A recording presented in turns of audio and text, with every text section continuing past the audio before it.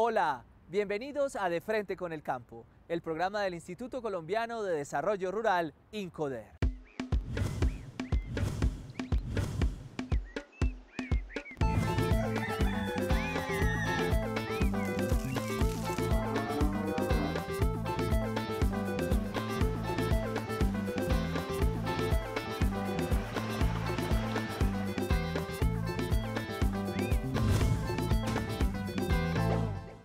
Visitamos el municipio de Ábrego, norte de Santander, en donde el INCODER ha invertido 4 mil millones de pesos en la rehabilitación del distrito de riego. Igualmente se viene implementando el programa de servicios complementarios.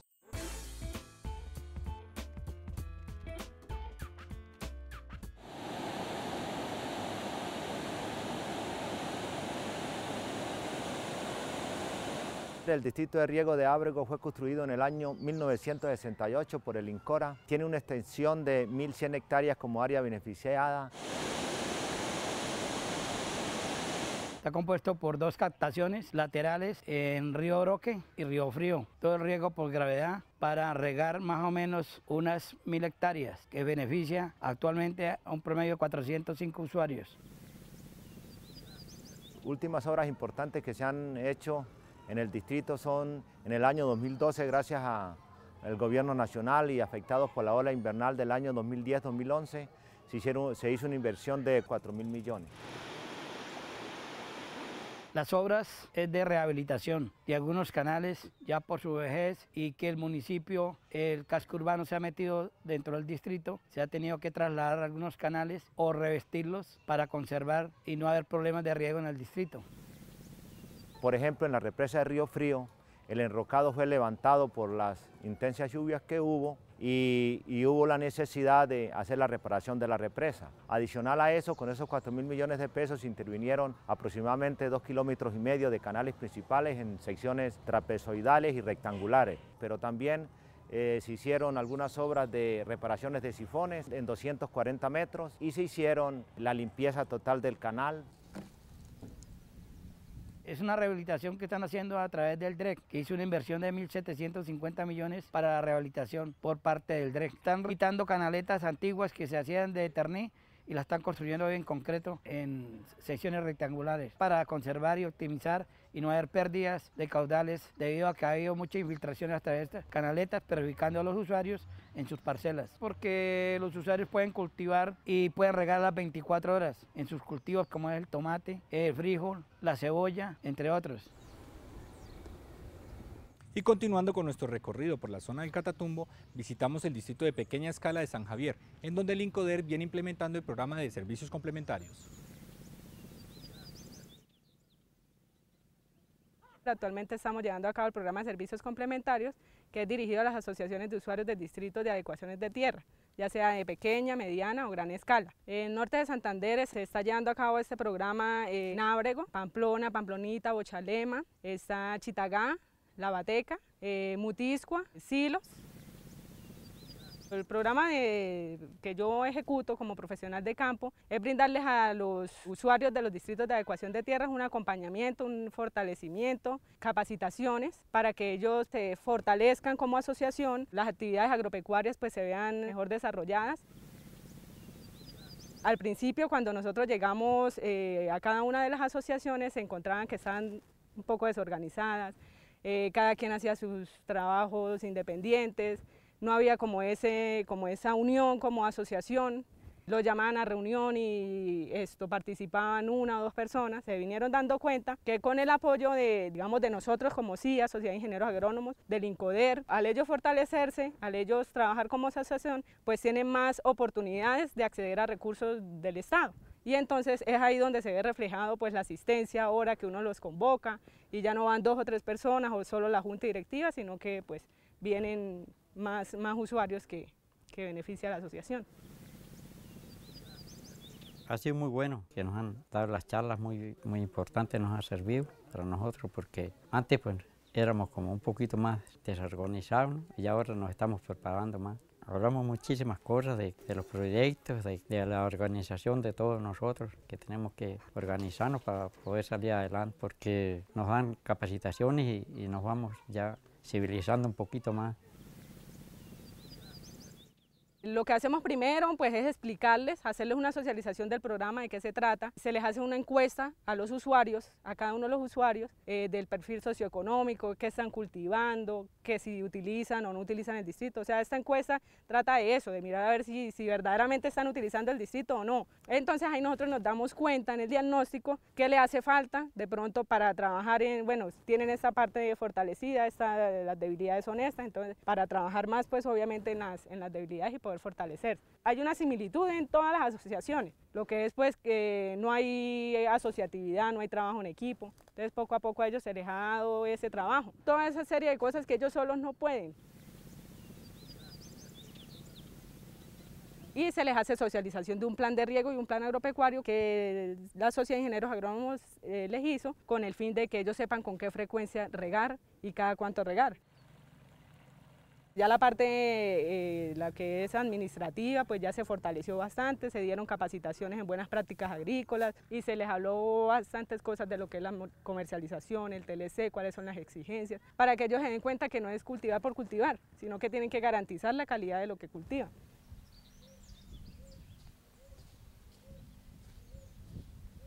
Pues del ministerio somos 84 usuarios ahorita. no, pues nosotros tenemos un, un, caudal de 22 litros por segundo nos entran. entonces, pero nosotros unos tienen un puntico, otros tienen dos punticos, hasta tres punticos tienen uno. Como nosotros tenemos unos proyectos, a ver si lo podemos, como la hija, la peño, el plátano y el, y el, aguacate. Y entonces para el maíz también y frisoles, que también entonces la agüita porque tenemos no nos alcanza entonces para todas las hectáreas de tierras que tenemos. Entonces estamos esperando a ver si hay una ayudita que nos, nos ayuden en, la, en el ministerio a ver si hay ampliación, porque nosotros tenemos agua suficiente en la captación, ¿no? Ya porque nosotros como salió los, los a hacernos la, la, visita, entonces dijeron que nosotros tenemos agua suficiente que podíamos ampliarlo. Entonces pues estamos esperando si nos pueden que nos ayuden. Ahora en el 2015, si acaso, hay soluciones. Nuestra situación muy bien, o sea, ha sido lo mejor. Para nosotros una experiencia muy grande que hemos tenido en, en las giras que hemos tenido, o sea, nos ha salido muy bien todo. Le agradecemos mucho a la doctora Pilar y a la doctora Angélica, que nos han asesorado muchísimo sobre los sistemas de riegos, todo lo que se trata de, de cuestión de cultivo. Hacemos reunión, ha sido todo muy chévere, o sea, sí, sí, verdaderamente podemos trabajar con los INCODER, estamos todos muy contentos. La verdad que yo como presidente, pues quisiera que ojalá hubiera una ampliación, porque es que hay harto personal que necesitamos verdaderamente la agüita para poder, vamos a, para sembrar ají, frijol, eh, maíz, ají, bueno, muchas etcétera, digamos, mucha, mucha clase de cultivo que sí verdaderamente es un desarrollo para nosotros y para la comunidad. No, pues ellos están muy, muy animados ahora porque como se nombró ya asociación, como antes era una junta de usuarios que era del ministerio que teníamos, no había ayuda casi nada, porque como no teníamos asociación, y ahora sí la estamos montando, ya la tenemos montada, y, entonces, y ya los usuarios también ya, ya han visto que es mejor así. Se ha visto el cambio ya de las personas, entonces ya han visto que es mejor trabajar así por medio de, de, asociación. Pues ya nos han ayudado mucho por ahí con, la, con las capacitaciones y todo, y, entonces ya esperando a ellos que ellos nos, nos den la manita más tarde. ¿sí? A continuación veremos la historia de don José Hipólito Arias y su familia, beneficiarios de un subsidio integral de tierras. Esta familia ya posee el título de propiedad de su finca en el municipio de Cucutilla y la implementación de un nuevo proyecto productivo.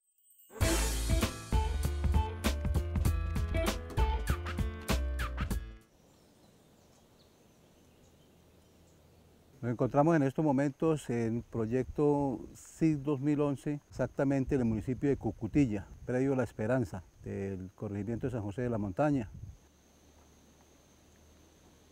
El proyecto productivo se implementa a través de un estudio de técnicos y profesionales que laboran en INCODER, eh, donde se hizo el reconocimiento del terreno, de acuerdo a las características del terreno, eh, la topografía, el clima, entonces todo eso eh, cuadra para que se adapte determinado proyecto. En este caso, Cucutilla es un municipio que ha sido cafetero y, el entorno se presta para este tipo de cultivo, por eso se implementó el cultivo del café. Yo vivo con mi señora y mis dos hijos. Yo ahorita tengo la caña, tengo los potreritos, potreros que están acabados, pero ya ahorita ya los tengo bien estado. Y el café y el plátano, la naranjita y eso. En el corto tiempo que llevamos trabajando con él en el proceso de, este subsidio, otorgamiento de este subsidio, me he dado cuenta que es una persona muy humilde, muy sencilla, muy trabajadora, tanto él como su esposa, y muy dedicados al campo. ¿verdad? que eh, vale la pena, vale la pena invertir en este clase de proyectos y que lo reciban familias campesinas que en realidad disfruten y aprovechen estos tipos de subsidios. Este predio hace parte de un subsidio integral de tierras que beneficia a don José Hipólito y su familia. El Incoder ha invertido 27 millones de pesos, de los cuales 20 se destinaron para la compra del predio y los 7 restantes para la implementación de un proyecto productivo de café y plátano. Mi vida antes era jornaleando por ahí, en parte en parte acá en Colombia, hasta Venezuela, fui, Saravena y todas partes por ahí buscando mi, mi vida. No, ahorita nada. Ahorita ya gracias a Dios ya soy patrón, se puede decir. Ya ahorita ocupo mi obrero y, trabajo en lo mío. Sí, estoy sosteniendo mi familia y, y estoy dando el empleo a la gente también. Pues lo que yo, así como usted lo ve, lo ha hecho con mi sacrificio. Ha trabajado al día, ha hecho cosas y cosas, ha hecho un préstamo y para meter el café. Ya llevo casi 5.000 matas de café. Ya hay unas que tienen nueve meses, ya tienen con ganas de ya echar mi cosechita ya y... Es algo de resaltar en, el señor José Hipólito, que es el, beneficiario de este proyecto. Él por sus propios medios ha implementado ya gran parte, como ustedes pueden ver, ya hay parte del predio con cultivo de café, incluso ya está recibiendo un beneficio, ya está recibiendo fruto de, de ese café. Entonces es algo muy importante para resaltar que este predio ha quedado en muy buenas manos de un, campesino que en realidad trabaja la tierra, que la explota y eso es lo que busca el Estado, ¿sí? darle un beneficio a la comunidad para que la disfrute, para que eh, mejore las condiciones de vida de su familia. Así fuera con todo el mundo, no está pasando todas estas consecuencias que está pasando el gobierno ahorita. Pone la gente a trabajar, dándole las tierritas. La gente se dedica al campo. Y, porque entonces que ahorita la mayoría de la gente está yendo es para las ciudades ya el campo está quedando solo por acá. Y eso es lo que, pues uno campesino y uno trabajador, pues eso es lo que merece, estar por acá. Tranquilo, todo tranquilo. Rincoder ha hecho un buen aporte y las familias que han recibido el subsidio están muy contentas porque han recibido un beneficio para, para poder trabajar y para poder estar, permanecer en el campo, que es lo más importante, ¿no? que las familias se mantengan en el campo y, y yo creo que ese esfuerzo que está haciendo Incoder se ve reflejado en, esos beneficios que está recibiendo la familia y en esa, digamos, alegría que, recibe el campesino, porque el recibir una tierra eso lleva mucho impacto y aparte de que se desarrolla la familia como tal, un beneficio, eh, da también para que la gente permanezca en el campo y viva mejor. Pues eso se demoró, pero llegó, ¿sí? Valió la pena esperar. La Dirección Territorial de Nariño entregó insumos para un proyecto productivo de pesca por 2.500 millones de pesos, representados en embarcaciones, artes de pesca y mano de obra que beneficiarán a 86 familias del municipio de Tumaco.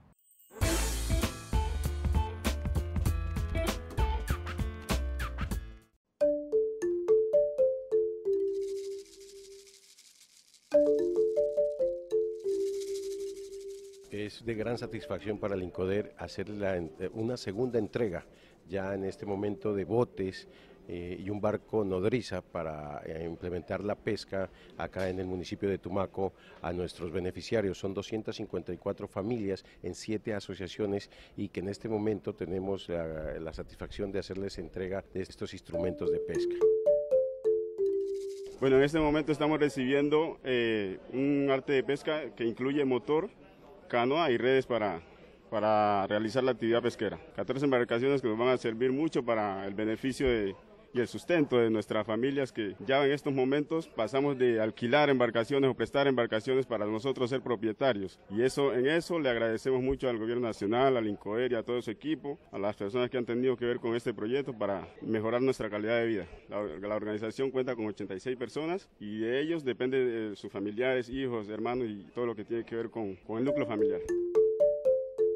El INCODER eh, como Instituto de Desarrollo Rural pues busca precisamente mejorar la calidad de vida de los grupos étnicos, que es lo que nos corresponde a nosotros en la sugerencia de promoción y asuntos étnicos. Busca con este proyecto que sea un modelo para todo el país, para agilizar los procesos eh, de apoyo con ellos y poder nosotros apoyar a los pescadores, a los grupos étnicos, a los indígenas de este país. En este momento vamos a beneficiarlo por ahí 14 personas dentro del grupo, ¿cierto? Hemos estado pues pendientes de, todos los manejos, los recursos de las personas que van a ser beneficiadas dentro de la organización Azonimar. La idea es que haya empleo para toda persona que quiera trabajar, de que las personas que no tengan trabajo pues también se beneficien y que trabajen también en nuestra organización, porque esto es para llevarlo adelante y que la gente trabaja para conseguir el bienestar de mañana ahora con comunidades negras. Por eso es que este programa es tan importante porque va a servir de ejemplo mm, no solo aquí, sino en todo Colombia para poder apoyar eh, todas estas asociaciones que no han tenido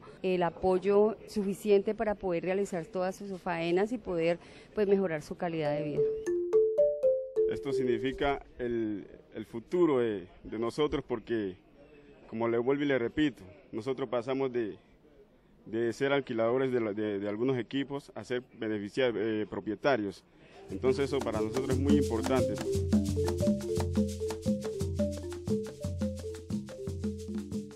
Procesos y convocatorias, eventos y programas, todo lo que deseas saber aquí en el ABC del Campo.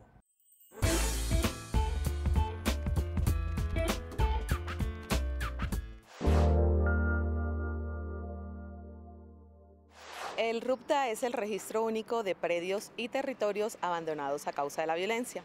Es una base de datos que se lleva a nivel nacional, administrado por el INCODER y la Superintendencia de Notariado y Registro, en la cual se ingresa la información consignada en las solicitudes de medida de protección eh, realizadas ante funcionarios del Ministerio Público por parte de la población víctima del desplazamiento forzado. Este programa está desde la ley 387 del 97, anteriormente se llamaba RUP, hoy en día se llama RUPTA. Favorece a la población que ha sido víctima del desplazamiento forzado o se encuentre en riesgo de serlo. Este año tenemos la idea de hacer capacitaciones a nivel nacional a los funcionarios del Ministerio Público, denominados defensorías, personerías, procuradurías regionales del país, con el propósito de que puedan fomentar esta política pública y salvaguardar los derechos de propiedad, tenencia o ocupación de las personas que han sido víctimas del desplazamiento forzado o se encuentren en riesgo de serlo y que han tenido que abandonar sus inmuebles por este motivo. Las capacitaciones comenzaron en la Procuraduría Delegada para Víctimas y seguirán realizándose a nivel nacional en todos los departamentos, en la cual se van a tratar temas como el propósito de la protección patrimonial, las tres rutas, la colectiva, la individual y la étnica, eh, su funcionalidad eh, y cuál es el papel que desempeña el Ministerio Público dentro de las rutas, eh, asimismo el INCODER y la Superintendencia de Notariado y Registro.